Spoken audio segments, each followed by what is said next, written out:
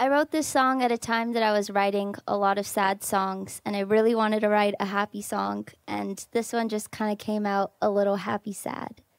This is a love song called Antidote.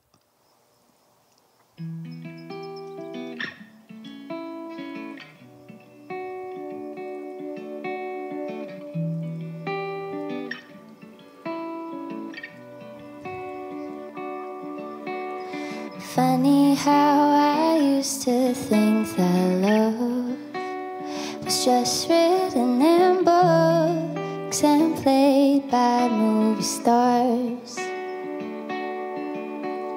I looked for it in cities, boys, and bars. I couldn't see it there until you came along.